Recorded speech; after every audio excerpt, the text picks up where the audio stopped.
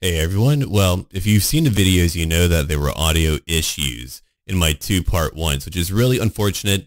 It hasn't happened. I put out a lot of content. And so because of that, you kind of know when your things work. But it caught me off guard that I had a few audio issues. So I'm going to have to re-record those, which means I'll probably add on like 30 minutes of footage. I do hope that all of you who have seen them will go back to watch it because I'm going to change up what I do. It's going to be completely brand new in that regard. I'm going to talk about more lore too.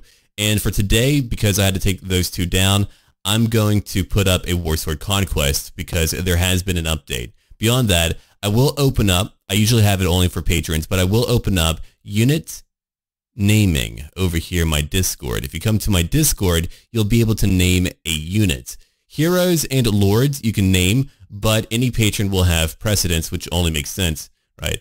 But um, yeah, I just wanted to give all of you an update real quick on what was going on with that. I'm not happy about it, but you'll see them tomorrow, and they will be new. And I will have, I believe, two new mods. Each of them will add two skill points per level for a bit of a change.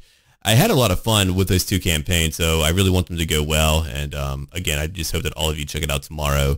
I don't usually take things down like that um, when it comes to part ones, but kind of had to there.